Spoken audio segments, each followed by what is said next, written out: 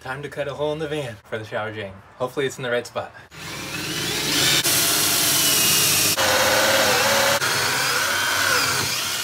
Let me pull this stuff out. Hot. Almost done with the foam. New battery? Yeah. Thank you. Here goes nothing. When you're almost through, stop and I'll go underneath. Okay? Okay. Oh.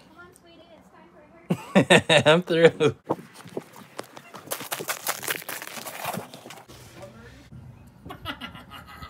Floor, wood, foam insulation, and metal